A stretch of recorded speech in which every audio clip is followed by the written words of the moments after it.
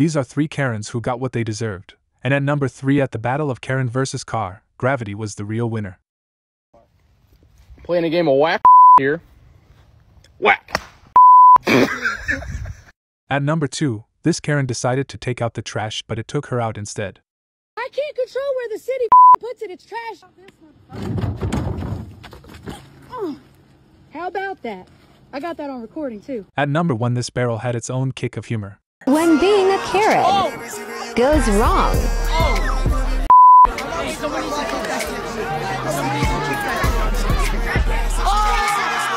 Subscribe if you hate Karens.